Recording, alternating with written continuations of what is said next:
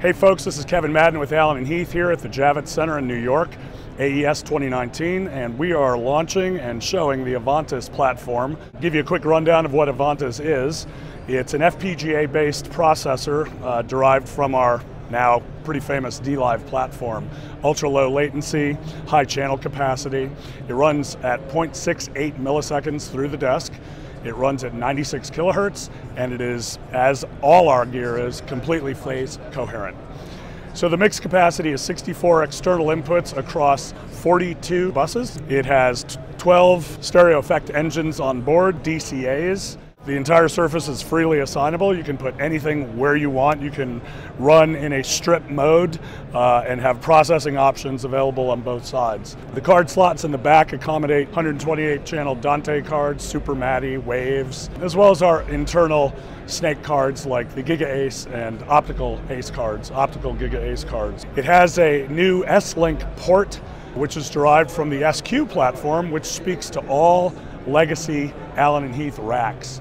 So this console can talk to our 48K more affordable boxes that have been out for a few years, or all the new stuff, the DX 168, the DX 164 floor pocket, as well as the new GX 4816. So there's probably about eight different boxes, including the new Dante boxes. We have a 16 by 8 throw box and a 16 by 4 install box that all work with Avantis. Can have optionally, by way of the dPack plugins option, have all, pretty much all the same signal processing and effects processing that's available in DLive, including the Dyn8 multi-band compressor dynamic EQ package. As you work this console, you would find it an extremely familiar uh, interface.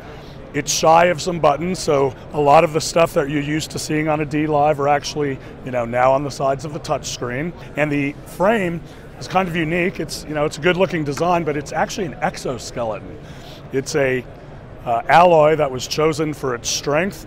And rather than having internal bracing all over the desk, it's literally, you know, sort of a tubular construction that has, you know, very little option of being damaged or torqued or twisted. So that's pretty unique. Something else that's never been seen on a console before, it's kind of a fun little feature. Our light bar I don't know if you can see this, is actually on the bottom under the armrest. And the reason we do that is, you know, rather than lights coming over the top that could potentially wash out the screen or maybe not reach the silk screening you need, why not put it under the armrest that shines up just to the silk screening calibration fader hash marks, whereas everything else is pretty much on the screen, pretty bright and high contrast good modern calculator. It's new. It's got a lot of stuff that we have planned for it. So this platform is going to be around, and we are proud to show it here in New York this year.